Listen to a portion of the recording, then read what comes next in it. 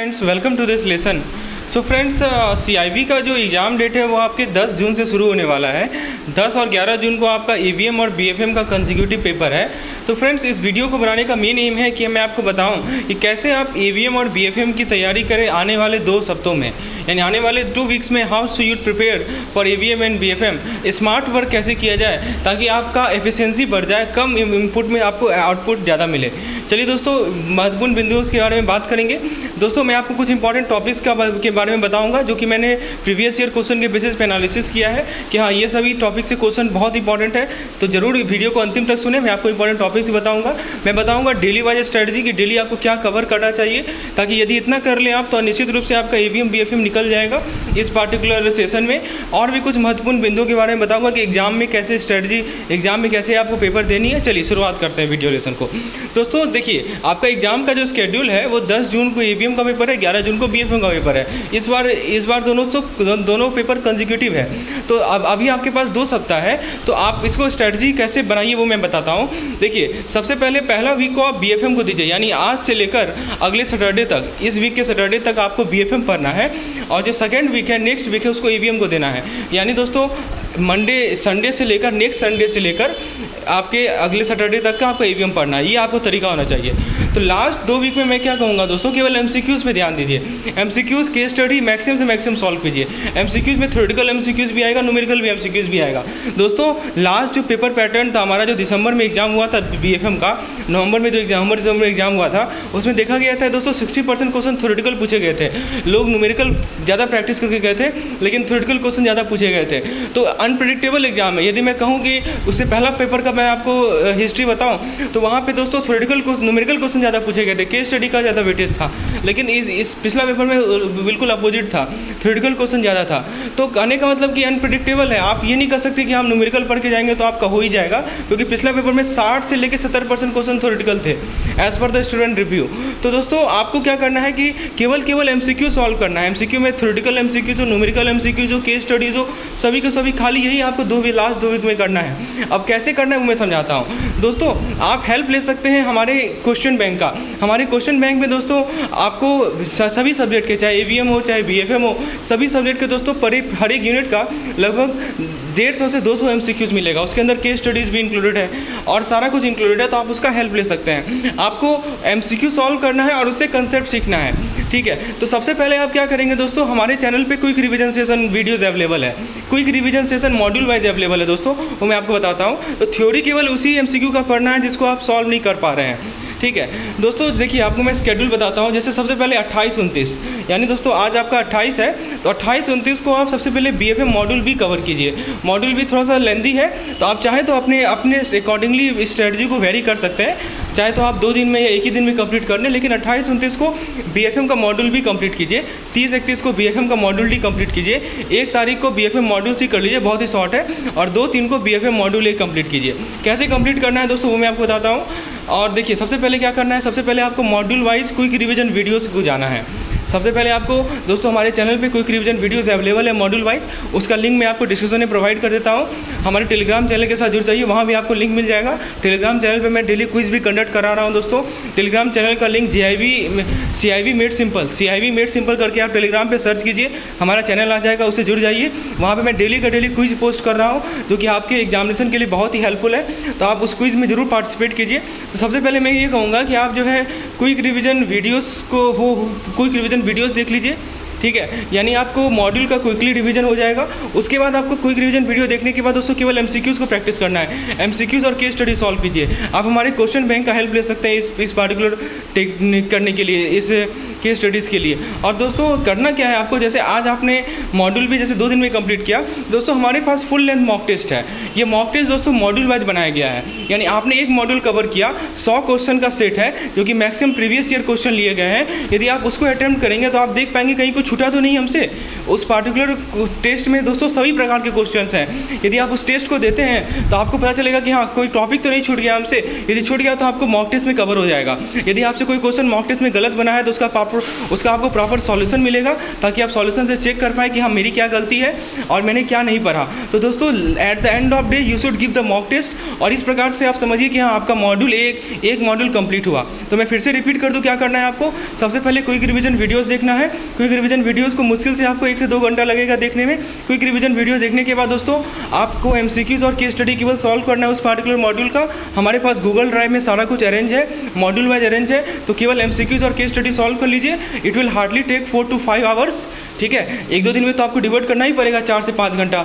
चार से पाँच घंटा में दोस्तों, जैसे एक मॉड्यूल में मान लीजिए आठ यूनिट है तो चार से पाँच घंटा में आप एम केस स्टडी सब सॉल्व कर लेंगे। हमारे न्यूमेरिकल एमसीक्यू में प्रॉपर न्यूमेरिकल एक्सप्लानेशन भी है सॉल्यूशन भी है वीडियोज़ भी है दोस्तों। तो उसका भी आप हेल्प ले सकते हैं। जैसे आप एमसीक्यू केस स्टडी सॉल्व कर लिए, उसके बाद आप उसका मॉक टेस्ट दे दीजिए। मॉक टेस्ट में मुश्किल से आपको एक घंटा का समय, एक घंटा का टाइम कंस्टेंट रहता है, एक घंटा मॉक टेस्ट देना है। तो कुल मिलाकर दो घंटा आपको लगा क्विक रिविजन वीडियोस देखने में, एक घंटा क्विक रिविजन वीडियो को देखने में, फिर चार से पाँच घंटा एमसीक्यू को सॉल्व करने में, और एक घंटा आपको मॉक टेस्ट देने में। यानी पाँच, एक छः एक, सात मतलब सात घंटा यदि आप दो दिन का डिवोट कर दें ठीक है? तो आपका एक मॉड्यूल कंप्लीट हो जाएगा। तो यही स्ट्रेटजी आपको सभी के लिए अपनानी है। ए की बात करें दोस्तों, देखिए, आपका दो से तीन तक, तीन तारीख तक आपका बी कंप्लीट हो जाएगा मॉड्यूल वाइज अब आप ए को अगले वीक में आ जाइए। चार से पाँच को ए मॉड्यूल सी को दीजिए। फिर छः तारीख को मॉड्यूल बी दीजिए। सात को मॉड्यूल सी दीजिए। और आठ और नौ को ए मॉड्यूल ए दीजिए। इस प्रकार से आप स्ट्रेटजी बनाइए। और कैसे कवर करना है, ये भी मैंने आपको बता दिया कि सबसे पहले आपको वीडियो देखना है कोई रिविजन वीडियोज़ उसके बाद दोस्तों आपको एम और केस स्टडी सॉल्व करना है। क्वेश्चन बैंक का आप हेल्प ले सकते हैं। हमारे पास क्वेश्चन बैंक अवेलेबल है। केवल उतना क्वेश्चन को सॉल्व कर लीजिए और उसके बाद फुल लेंथ मॉक टेस्ट जो मैं, हम प्रोवाइड कर रहे हैं, उसको आप देख लीजिए। दोस्तों, हमारे पास 2000 हज़ार सीरीज़ है तो आप केवल एम को सॉल्व कीजिए। कंसेप्ट को एमसीक्यू से समझिए। थ्योरी केवल उसी एमसीक्यू का पढ़िए, जिसको आप सॉल्व नहीं कर पा रहे हैं। अलग अलग एम को सॉल्व कीजिए। हमारे पास four full length mock test भी अवेलेबल है।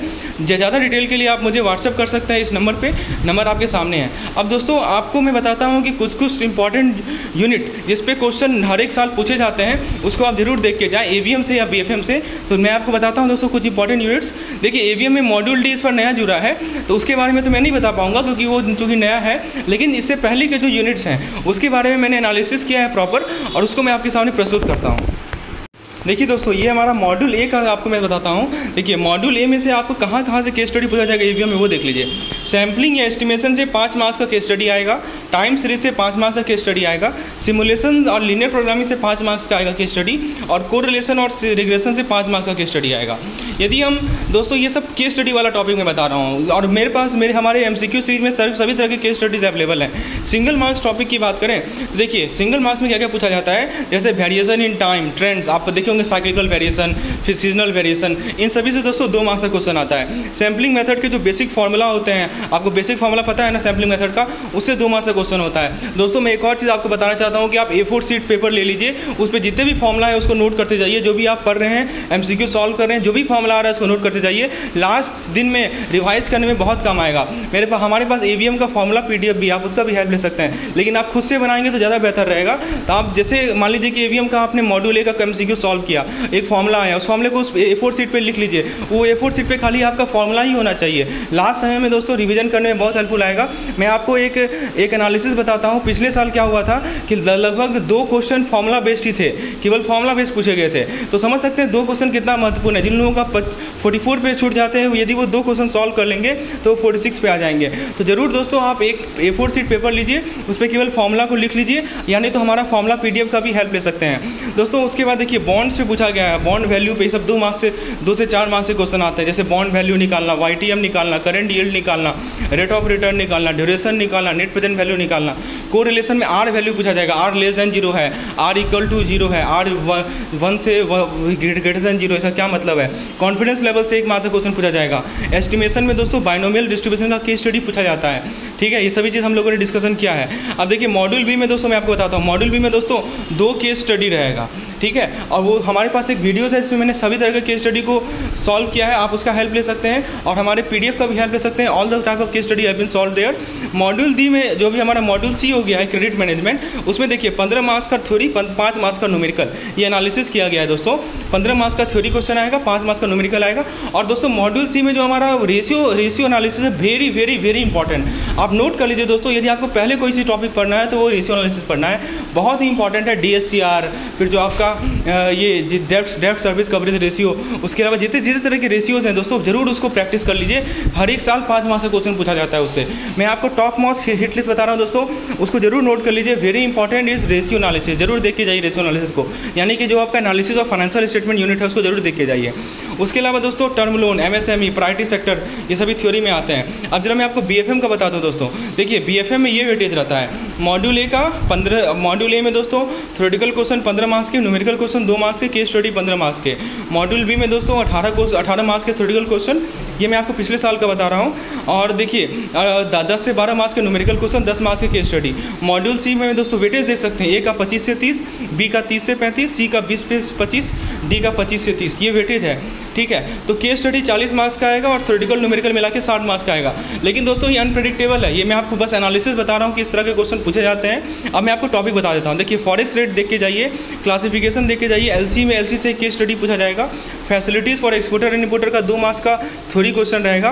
पॉलिसीज़ ई सी एक से दो मार्क्स का थोड़ी क्वेश्चन रहेगा। तो यदि आपको प्रायोरिटाइज करना है तो ये facilities policies EXIM bank FEMA RBI सभी से देख सकते हैं, दो मार्क्स एक मार्क्स एक मार्क्स एक मार्क्स तो कम क्वेश्चन पूछे जाते हैं तो इसको आप छोड़ भी सकते हैं। मैं ये नहीं बोल रहा हूँ छोड़ के जाइए, लेकिन आपके पास, यदि आपने, आपको यदि प्रायोरिटी पे रखना है तो इन सभी को प्रायोरिटी में मत रखिए। ठीक है? उसके अलावा मॉडल बी में देखिए, बहुत वेटेज है। मॉडल बी में दोस्तों, आठ और नौ नंबर यूनिट से definition type classification tier one tier two capital C T C C B इन सभी से न्यूमेरिकल आता है और एक स्टडी फिक्स है आठ और नौ यूनिट से।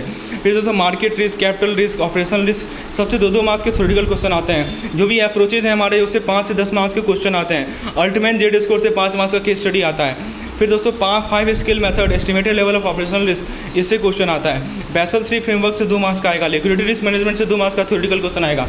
लेकिन ऐसा कोई फिक्स नहीं है। आपको पता है दोस्तों, इसमें भी आपका ये आपका बेसल थ्री फ्रेमवर्क से भी कभी कभी केस स्टडी पूछा जाता है। ठीक है, ये सब इंपॉर्टेंट टॉपिक है। मॉड्यूल सी की बात करें तो spread of and position secondary market फिर दोस्तों थ्योरेटिकल क्वेश्चन है call money notice money treasury bill gap risk measure V R calculation approach duration Y T M duration gap ये सब सवाल पूछे जाते हैं। डेरिवेटिव प्रोडक्ट से थ्योरेटिकल क्वेश्चन आएँगे। ट्रेजी एंड एल से थ्योरेटिकल क्वेश्चन आएँगे। मॉड्यूल डी से दोस्तों spread objective gap A L M slab parameter N I I N I M C R A R Cooke's ratio R W A tier one tier two ये सभी theoretical वाले units हैं। तो friends ये था हमारा टॉपिक का important topic का इस प्लेस सो फ्रेंड्स ओवरऑल मैं ये कहूँगा कि आपको मैंने स्ट्रेटजी बता दिया, आप इसे बस फॉलो कीजिए। यदि कहीं स्टडी मटेरियल की रिक्वायरमेंट है मॉक टेस्ट आपको अवेल करना है तो हमें इस नंबर पर व्हाट्सएप करें, आपको मैं मॉक टेस्ट और जो भी हमारा एमसीक्यू सेशन है, वो मैं आपको प्रोवाइड करूँगा। If you want any type of assistant kindly join our Telegram channel we are providing free M free quizzes there आपको फ्रीली क्विजेज अवेलेबल होगा। टेलीग्राम चैनल का लिंक डिस्क्रिप्शन में भी है, यानी तो आप टेलीग्राम पर सी आई करके सर्च करेंगे तो आपको टेलीग्राम मिल जाएगा। धन्यवाद।